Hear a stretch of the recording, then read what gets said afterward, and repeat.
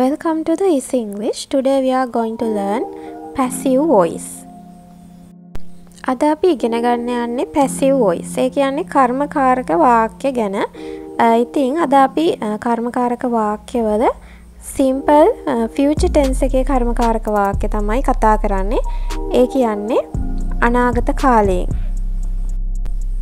අනාගත කාලයේ අදහස් ක්‍රියාව කරන කෙනෙක් නැතිව පවසන විට තමයි මේ බස්සහර යොදා ගන්නේ.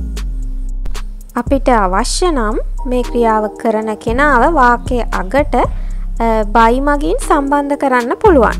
අපි බලමු කොහොමද මේ වාක්‍ය ගොඩනගන්න කියලා.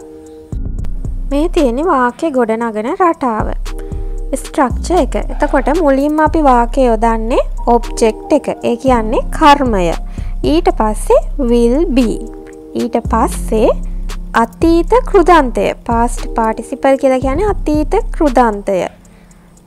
මේකෙදී දැම් මේ විල් බී කියල කියනවනේ.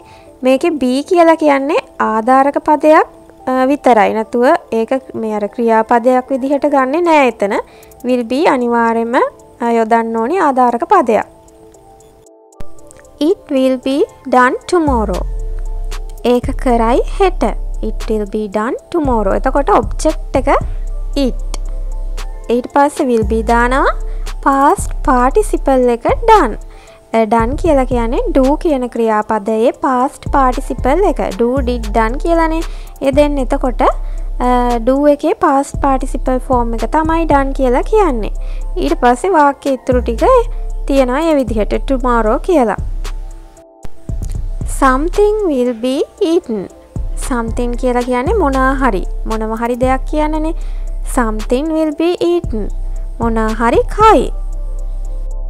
තෑග්ගක් දෙයි ලබන මාසේ. A gift will be given next month. A gift කියන ඔබ්ජෙක්් එක will be. ඊට පස්සේ give කියන verb එකේ past participle එක අපි දන්නවා given. A gift will be given next month. තෑග්ගත් දෙයි ලබන මාසේ. You will be scolded. You will be scolded කියන්නේ ඔයාට බනී කියන එක. ස්කෝල්ඩ් කියන්නේ uh, වර්බ් එක බේස්වර්බ් එක. ඊට පස්සේ ඒක පාස් පාටිසිපල් එක ස්කෝල්ඩඩ් මෙතන යවිල්බි ස්කෝල්ඩඩ් කිව්හම කෙනෙක්ට හිතන්න පුළුවන් නිකං ඔයා බනීවි කියනවා වගේ.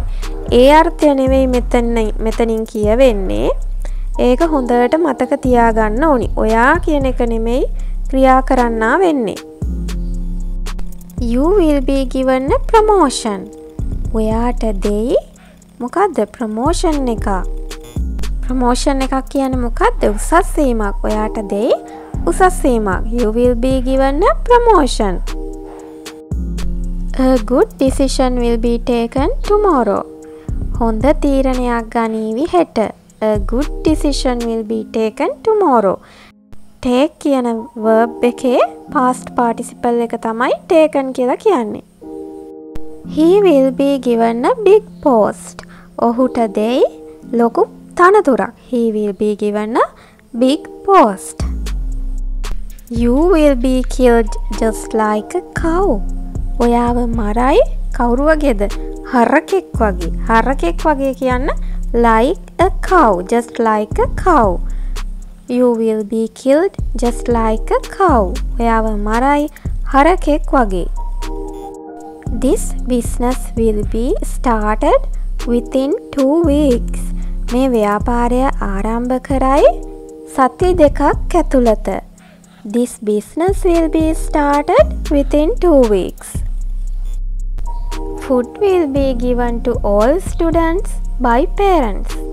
ආහාර දේවි පාසලේ සියලුම සිසුන්ට කවුරු විසින්ද දෙමව්පියන් විසින් අන්න දැන් එ දෙන කෙනා අපි මෙන්න මේ විදිහට බයි පදය යොදලා මේකට සම්බන්ධ කරන්න පුළුවන් බයි පේරන්ස්. ඉතිං ඔන්න ඔය විදිහට තමයි සරල අනාගත කාලයෙන් පැසි වොයිස් කර්මකාරක වාක්‍ය අපි ගොඩනගන්නේ. If you like this video, don't forget to subscribe my channel.